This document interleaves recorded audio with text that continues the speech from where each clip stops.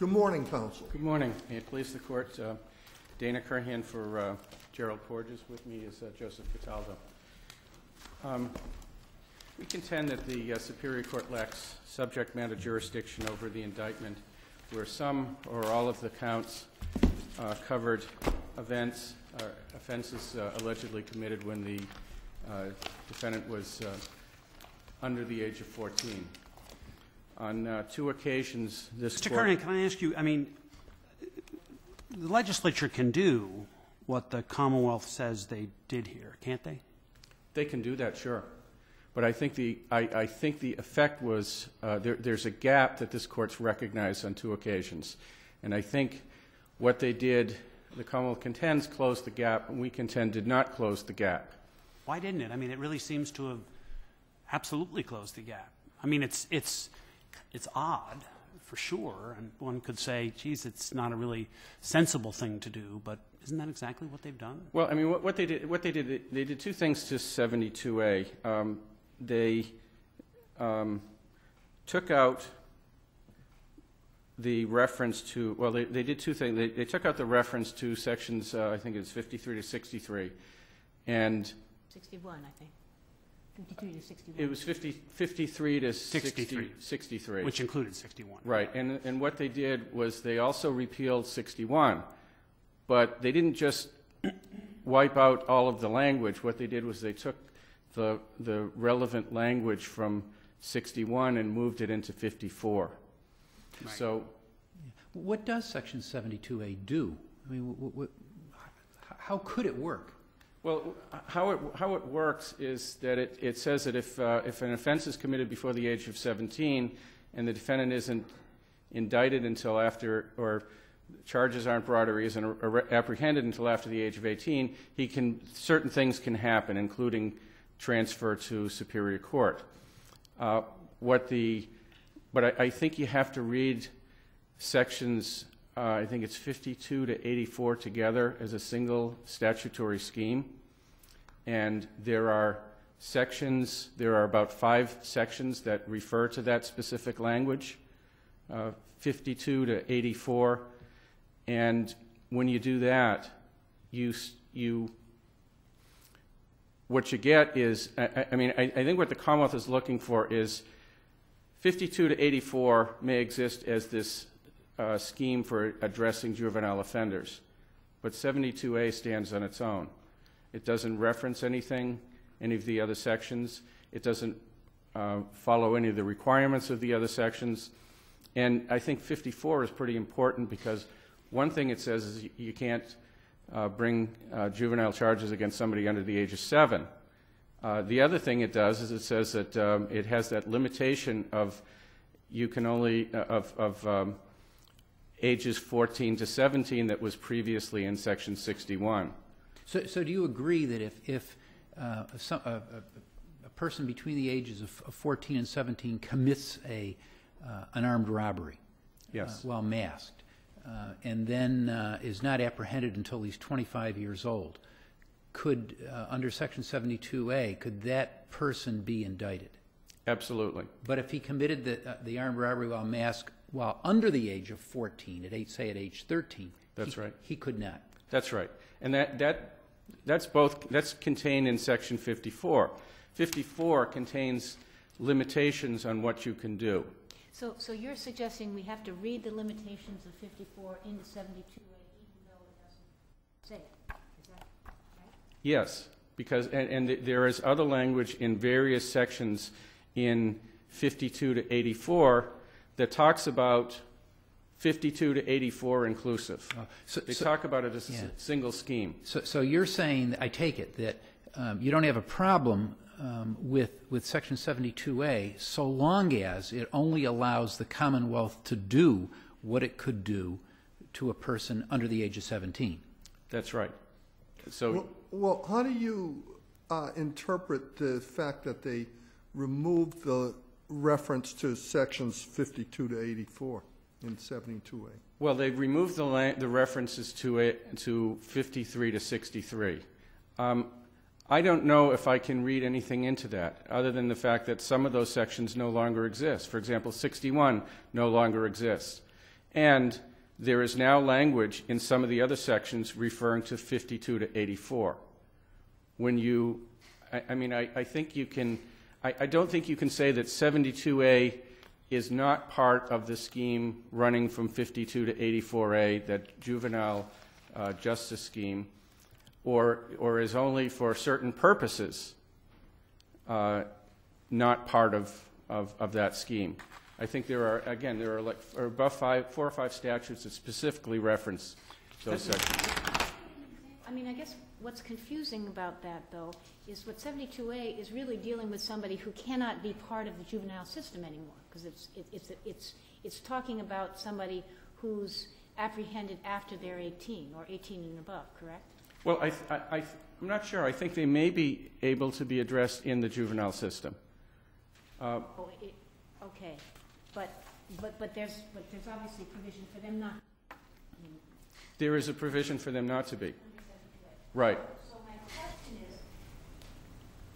I know you say, well, there's these references to 52 to 84 in various sections. Can you give me an example where somehow 72A, if you accept the Commonwealth's interpretation, makes a problem in some other section because it's referring to 72A? Do you understand what I'm saying? Well, I think that render, I think it renders paragraph three, the former section 61, I think it renders that meaningless in 54. It, it gives you a real problem with, with that section because what does it now mean that somebody, if, if you take the age limitations, set 14 to 17, what does that mean now? That doesn't mean anything. Uh, there's also, also in section, Unless you aren't apprehended until after you're 18. Uh, Possibly, but uh, there's also the the limitation on prosecuting somebody under the age of 17 would not seem to apply under uh, 72A. So, A- a- And I take it that um, the, the injustice, if you will, that you're, you're highlighting is that if a, if a kid 13 years old had committed an armed robbery while masked, uh, he could not have been treated as an adult if he had been apprehended before his 17th birthday. That's correct. Uh, in fact, if, if, if he had been apprehended when he was 16 years old and 10 months, um, he could not have been treated as an adult. But if he was apprehended when he was 19, all of a sudden he can be. That's correct. And again, that may, may be odd, uh, but in Commonwealth versus a juvenile, I mean, the court pointed right to that cross-reference and saying, because of that cross-reference, there is a gap. Uh, and therefore, someone who commits a serious crime at 13 uh, and who's arrested after 18 essentially escapes all possible punishment. And that's something the legislature needs to fix. And that's what they've done here, haven't they? I mean, it Well, may I- not be I a great I don't- fix. I don't think they, I don't think they have, and I don't think they intended to fix it. I mean, this is six years after a juvenile that this amendment took place, and the amendment was not very good. There's, I mean, this court has held that when you, when you want to confer or expand the jurisdiction of a court, you do so with explicit language. If uh, there was some language in there saying, and by the way, the Superior Court now has jurisdiction to cover this circumstances, I would, I, I would not be here. You don't think that language that it shall hereafter proceed according to the usual course of criminal proceedings? I'm sorry? Um, There's a reference to the usual course of criminal proceedings rather than delinquency, doesn't do that? I, I, I don't, I don't think that does that. I, I don't think that, it, I don't think that was intended to apply to this circumstance. And, and I, uh, I think getting back to Justice Cordy's question, the cross references, uh, the 53 to 63, uh, I would suggest that that is now contained in other statutes. That there are, again, four or five references in statutes referring to 52 to 84 inclusive. Uh, where is the, how, how do you take 72A out of that? How do you, it doesn't say 52 to 84 excluding 72A. I, I don't think, uh, uh, the legislature needs to fix it, and I don't think they have, and I don't think they intended to. Uh, Unless there are any further questions, I will uh, leave the remaining points to the briefs. Thank you, Thank you. counsel. Thank you.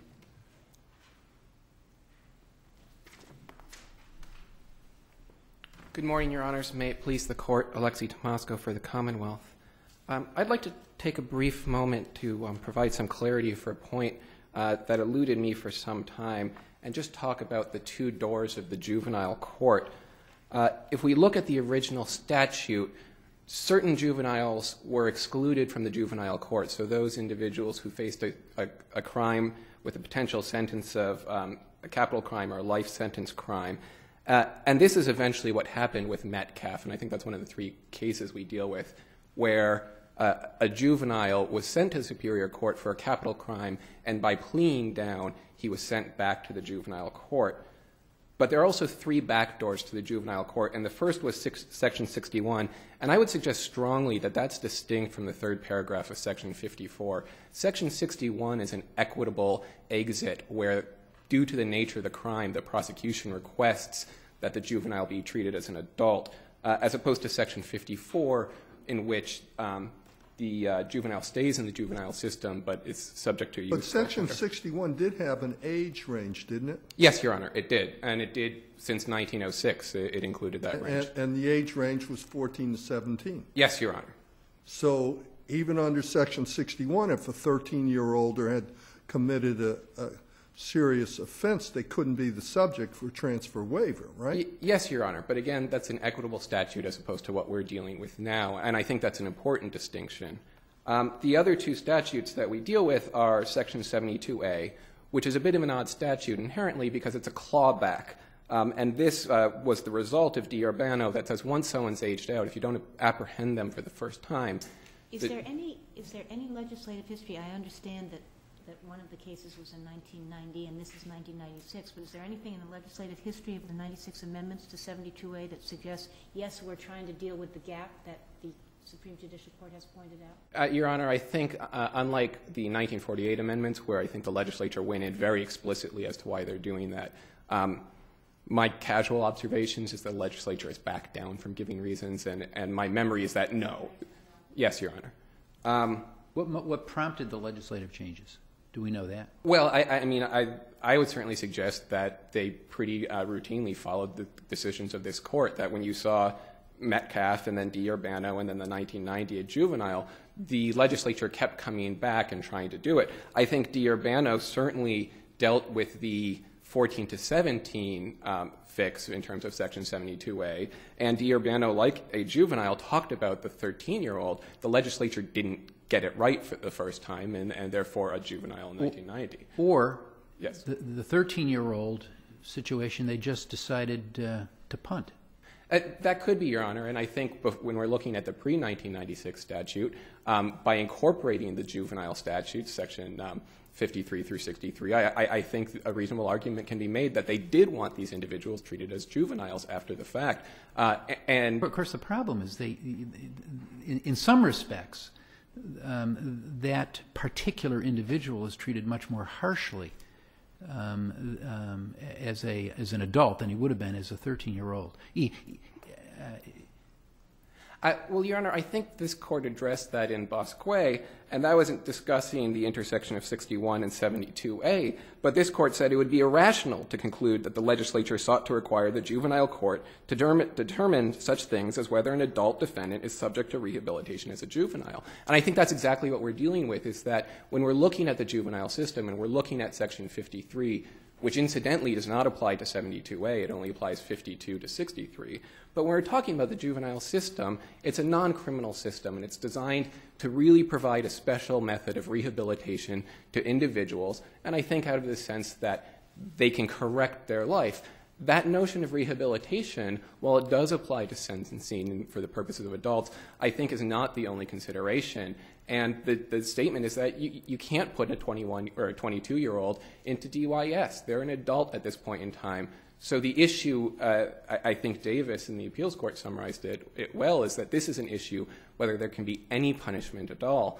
Uh, and that goes to one of the, um, uh, the uh, argument about in statutory interpretation as, opposed, as to an absurd result, that under the defendant's scheme, um, any case, a 72A, for any uh, complaint that could be filed in the district court, regardless of the age of the juvenile between 7 and 17, that individual could be transferred to, seven, to the district court because the delinquency complaint could file against all of them. Whereas the more serious crimes, where final jurisdiction only lay in the superior court, only those individuals 14 to 17 could be transferred to the superior court. For, so for some reason, Explain that to me again. I really didn't understand that in your brief. So you have a 13-year-old charged with a, an offense on which there is jurisdiction in both the Superior Court and the District Court. This goes to Justice Gants's question, or it may have been your question, Your Honor, which um, the, the question was, and the defendant concedes, that if an individual is between 14 and 17, So he's 23. This, let's talk about this Sure. person. 23. 23 commits a crime between 14 and 17, that's a crime, when he was between 14 and 17, he committed a crime, and that crime is an armed mass robbery, was the example. Sure. The defendant concedes that if he's first apprehended when he's 22 or 23, Yeah. the 72A can apply Can be indicted and he can be indicted. Um, the defendant's argument is based on Section 54, which says a youthful offender indictment can only be brought against an individual who's 14 to 17. In contrast, if we're dealing with a complaint, which could be brought under 72A, we have a 23 year old who assaulted someone, a simple assault instead of armed mass robbery, delinquency can apply to any individual between the ages of 7 and 17. So hypothetically, you don't have this 14 to 17 year old age limit. So any person in that age to whom they committed a, um, a misdemeanor, that person could be transferred under 72A. So this leaves a sort of weird gap under the defendant's argument that we're going to treat uh, 7 to 14 year olds differently if they commit a felony instead of a misdemeanor. And I think that's So t- this explains to me again, I'm sorry, I'm very dense. So it's a 23-year-old, and he's now charged with assault and battery committed at age 13, or there's a juvenile complaint issued. So what happens now under the current statutory scheme? Assault and battery, age 13, he's 23, he's just been charged with an assault and battery occurring 10 years before. So I think there's no disagreement that that individual can be transferred under 72A, whether they commit the assault and battery under tw- as 12 or under 16. The notion here is that it's a modern interpretation of a juvenile in 1990 that instead of uh, incorporating Section 61 with 72, incorporates Section 54 with uh, 72A. And Section 54 is what defines the process of bringing complaints or indictments against a juvenile youthful offender indictment. The youthful offender indictment is limited to 14 and 17, whereas the delinquency complaint is not so limited. Doesn't the statute of limitations shake out a lot of those, though?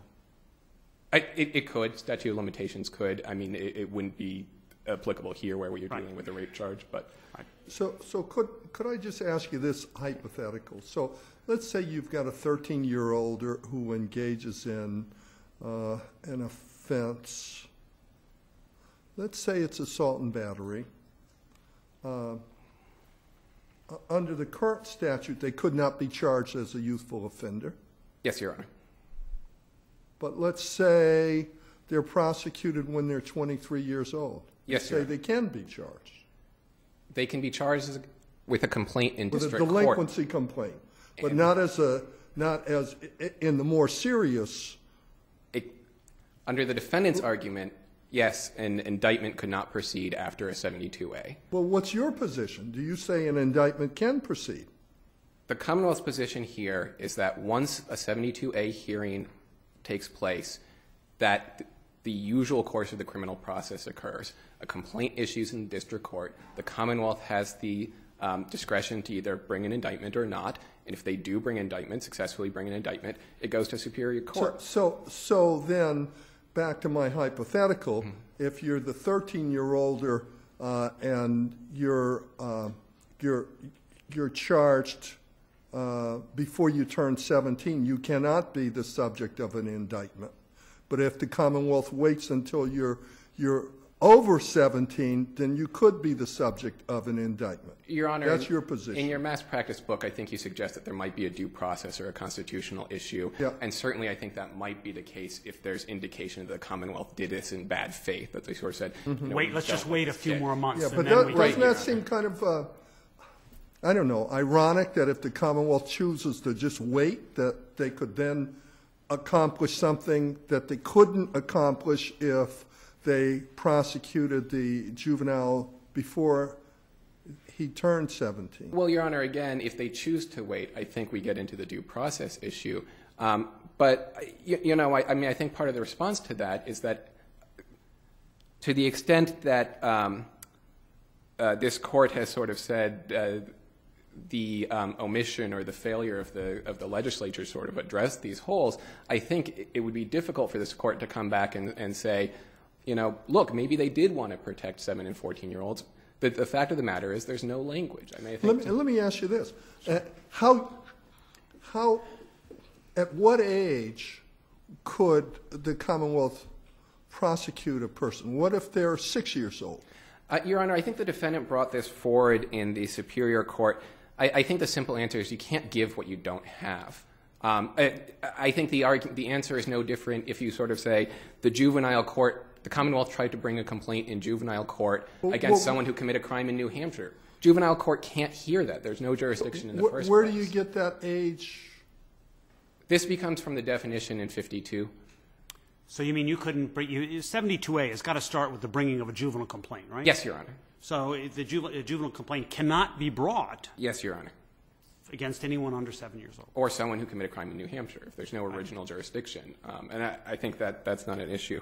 It's a factual matter in this case, are we Yes, sir. really talking, if, if I understand this correctly, we're talking about four of the indictments? Is that Uh, Your Honor, I think the first set of four unambiguously occurred when the defendant was under the age of 14, and the second set is somewhat ambiguous, that it dealt with a, um, a school year instead of a calendar year, and within that school year, the defendant turned 14, so I think there would be some question of fact.